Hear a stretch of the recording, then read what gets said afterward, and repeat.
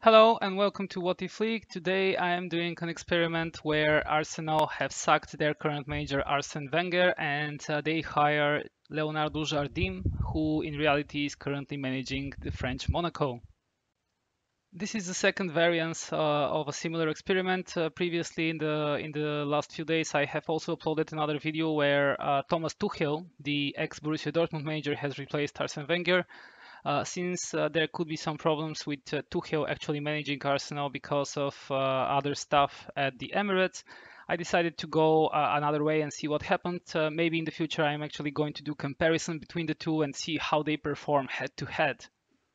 So for the time being, uh, here is we see uh, the overview of Arsenal. Leonardo Jardim is uh, at their helm. The day is 22nd of January 2018, and now I'm going to fast forward until the end of this season to see how did they perform.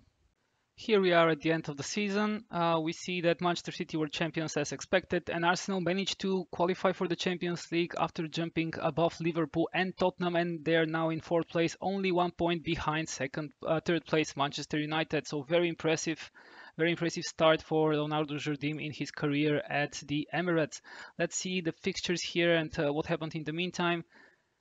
So let's see, uh, in the FA Cup they lost to Bournemouth in the fourth round, so they were out of that tournament. Uh, they are also out of the uh, League Cup after losing to Tottenham uh, in two legs in the Euro Cup. Let's see what where they managed to go. They went to the final where they lost it to Juventus, unfortunately. So a very very good season for Leonardo Jardim uh, in charge of Arsenal. Let's also see the tactic screen. What is happening here? No real changes. Lacazette playing up front with uh, Welbeck and Mkhitaryan on the two wings. Mesut Ozil in the number 10 position with Xhaka and Ramsey in the middle of the field. The back four consists of Monreal, Koscielny, Mertesacker and uh, Bellerin. No real surprises there. They're playing ahead of uh, the everlasting Petr Cech. Let's also have a quick look at the transfers and uh, see if there are any any purchases. No, no ins, no outs so far. And I imagine Jardim is also uh, taking his time to assess the squad before starting to splurge the cash. Now, in, before I close this uh, this uh, part one of this experiment, I want to also see what happens in the next three years. So I'm going to fast forward and I'll be back in a second. All right, we are now at year 2021, and uh, first let's start with the Premier League and see how did Arsenal perform. First season, they managed to qualify for Champions League after finishing fourth. Second season, they are runners-up after losing the title to their North London uh, neighbors, Tottenham. So this was probably a very bittersweet uh, finish of the season. Uh, I'm sure that they would appreciate finishing second behind any other team, but not Tottenham, unfortunately. But uh, this is what the game decided. In the third season, Chelsea were crown champions. Arsenal fell down to fourth place again. But uh, what is even better is Tottenham were fifth that year, so probably Arsenal fans would go, are going to appreciate that. And in the final season, Arsenal finishing fourth again. Manchester City, Manchester United, and Tottenham consist the other uh, teams in the top four, with Manchester City winning the title. Let's also have a look at the cup competitions and see uh, maybe there were some uh, trophies there. Manchester United, Southampton, Chelsea, and Tottenham won the FA Cup in the last four seasons. Let's see the League Cup. Defending champions Arsenal, so there is at least one trophy for Leonardo Jardim here. We see that uh, he won the League Cup in the final season. Tottenham won the uh, League Cup uh, here, so I think that Tottenham have two trophies and uh, a league win. Very impressive from Pochettino, I imagine. Yeah, he has not been fired.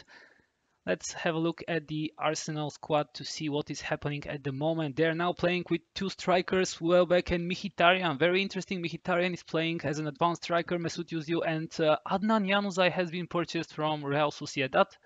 Very interesting. Let's have a look.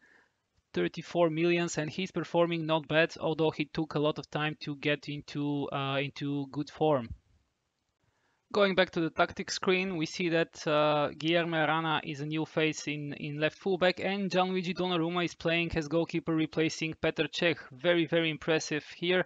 We can also see Luke Shaw in the reserve so let's go to the transfer history and see who did Jardim buy. In his first full season he purchased Adnan Januzaj and Seko Fofana selling Mathieu Debuchy and Carl Jenkinson to Dynamo Kiev and Wolverhampton respectively. Next season, he bought Lucas Torreira from Sampdoria, the defensive midfielder, and sold Emiliano Martinez. Uh, he's uh, one of the reserve goalkeepers at Arsenal, as well as Mohamed Elneny, who is now playing for Red Bull Leipzig. Lucas has been sold to Shakhtar Donetsk. And in the final year so far, the, the transfers were Gianluigi Donnarumma, Luke Shaw on a free. I, I need to see what happened here. Probably United did not play him enough. And indeed, this is the story. He was not a starter. That's why he decided not to renew his contract, or maybe Manchester United decided not to offer such.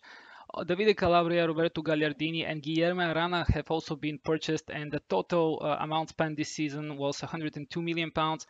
On the other side, we can see that Hector Bellerin has been sold to PSG for a staggering 126 uh, million pounds, which is practically negating all of the uh, incoming spent. Next, let's have a look at the European competitions and see uh, who won the two European um, Cups, the Europa League and the Champions League in these four seasons. Starting with the Europa League, we can see that Arsenal qualified for this uh, competition's final in their first time of asking with Leonardo Jardim at their helm. Unfortunately, they lost the final to Juventus 2-1. Arsenal managed to beat Villarreal, Red Bull Leipzig and Spartak Moscow on their way to the final, while Juventus qualified after defeating uh, Jardim's uh, previous team Monaco, and before that uh, the Dutch Ajax and uh, the German Köln on their way to the trophy. In the next season, Sevilla were crowned champions of the Europa League after defeating Lazio in the final. They also defeated their Spanish compatriots Valencia, English uh, Liverpool on penalties, and another Spanish team Villarreal in the second knockout round.